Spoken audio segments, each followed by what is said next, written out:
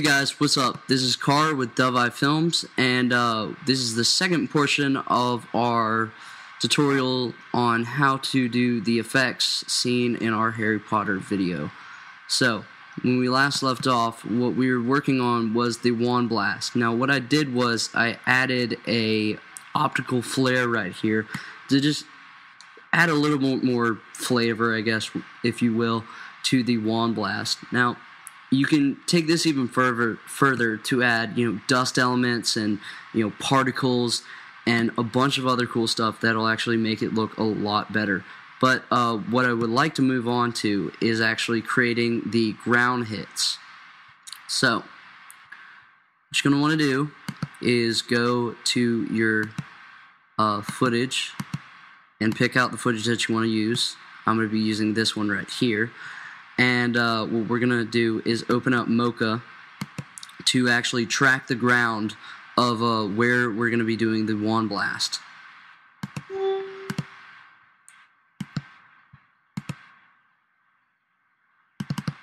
And make sure that this is 60 frames or whatever your frame rate is in your composition right here. Like right now, I shot this in uh, in 60 frames per second. So I'm going to change it to 60 frames per second right there. And I'm also going to go back and uh, make sure that this is 60 frames as well. Okay.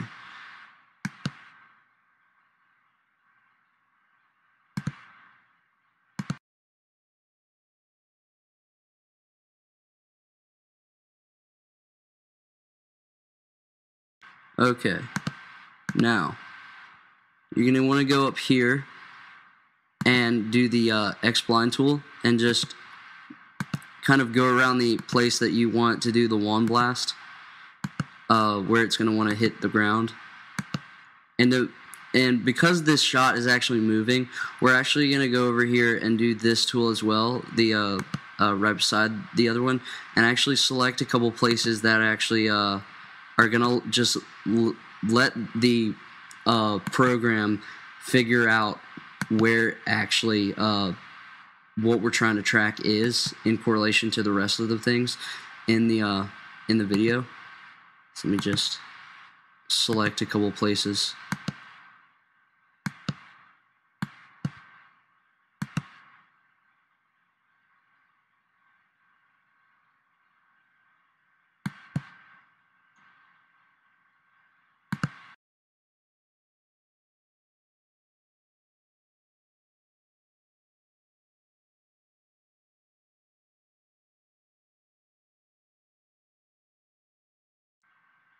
And then once that's done, want to go to go to export uh, track data and uh, go to transform data and copy that and go back over to After Effects and go to layer, new, new null object, edit, paste.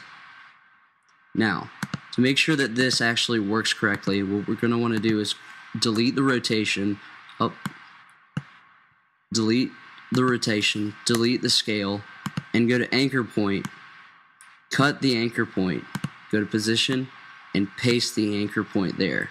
And then go to anchor point and just go 0, 0.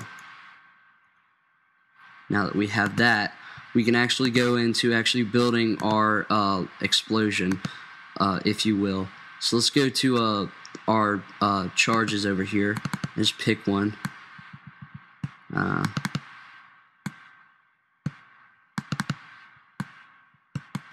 Actually uh, dirt charges. My bad.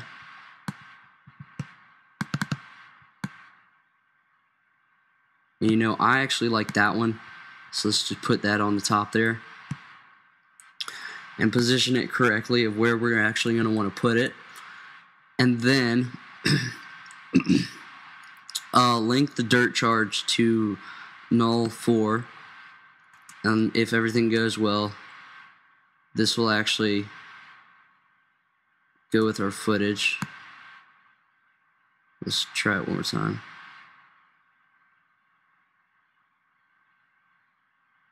Now, it, it's having a little bit of trouble st sticking to the footage. Uh, so let's do this. let's actually go back into Mocha and let's redo it. But this time we're going to put actually more Bezier uh, tools uh, around specific objects to actually make it stand out a little bit more. So let's do this. Let's go around the main object that we're going to be doing right here. And I just want to scrub through a little bit and just make sure that he is not going to be getting into the shot. Okay, that that's working out really well. All right, so after we've done that and just gotten our general area right there, we're going to go back over here and just, again, go around some general objects to let the program know what we're trying to tr track and where it actually is in correlation to the video.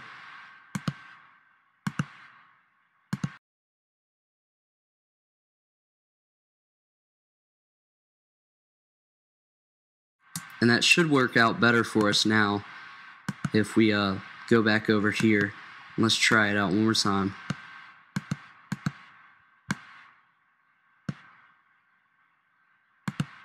Then do all of our stuff again, like deleting the rotation, deleting the scale, cutting the anchor point, and uh, re put positioning that on the uh, position.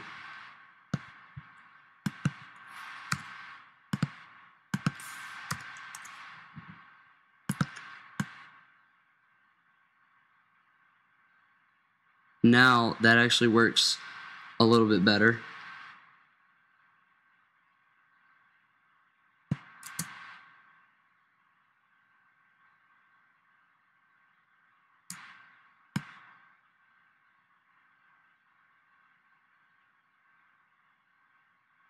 And I mean, sometimes you're going to have a lot of problems with tracking, and it's just about finding that sweet spot and everything like that.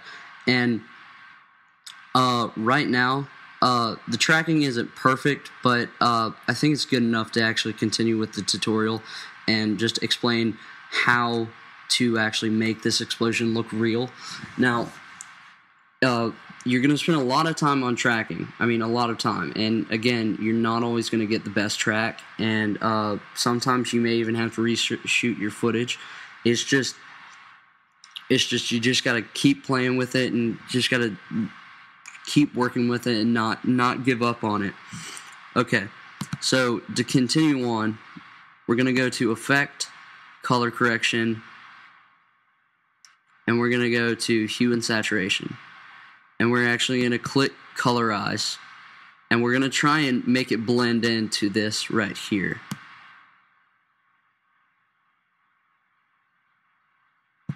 Just mess with the uh, saturation and lightness. And that is actually looking pretty good right there.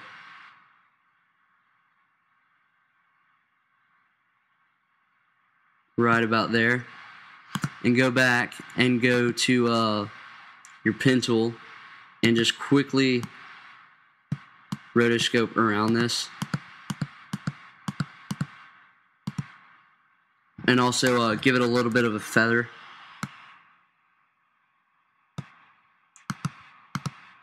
And that's looking pretty nice. It's just, uh, you see it kind of impact and he starts running.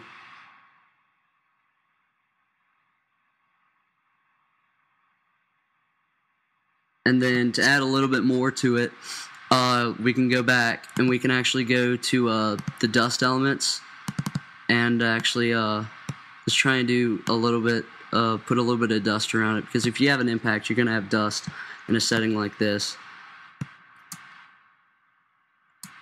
And also uh, hook that to null full, null 4 as well and just position it correctly. And also uh, go over here and go to the elliptical tool, double click it, and uh, feather that a little bit. So we have that dust kind of surround it.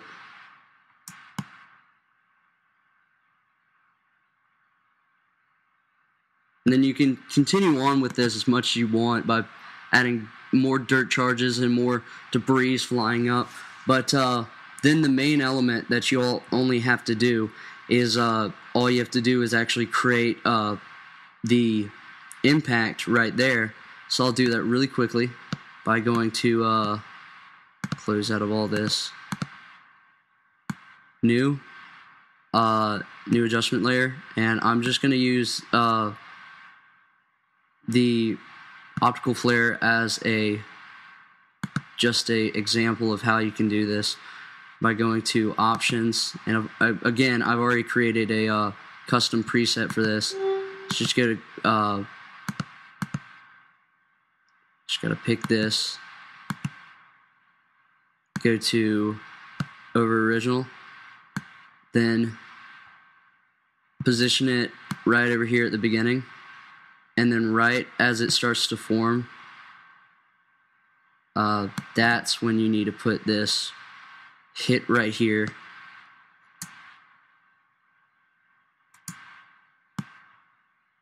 And then right as it hits make the scale a little bit bigger and then the brightness a little bit bigger like that. Then scrub back and make sure that it's not going to be this big when you actually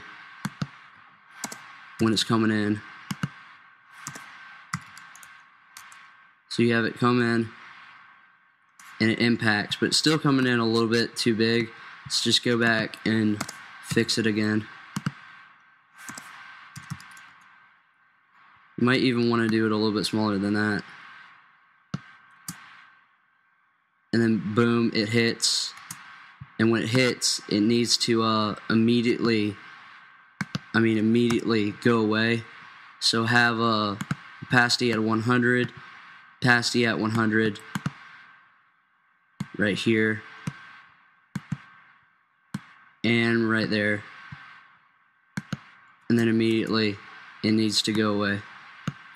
And then you have that come up. So then you have boom, it explodes, and then it the explosion comes up, and uh, the guy takes off running, and that's basically it. That's how you make the uh, the explosion. Uh, I'm going to be doing in in the future. I don't know how soon, but in the future, more in depth uh, tutorials on how to do explosions and everything like that. Uh, but for now, my name is Car, and uh, thank you for watching this tutorial. Uh, make sure to please subscribe, comment, and rate down at the bottom. And I'll see y'all very soon.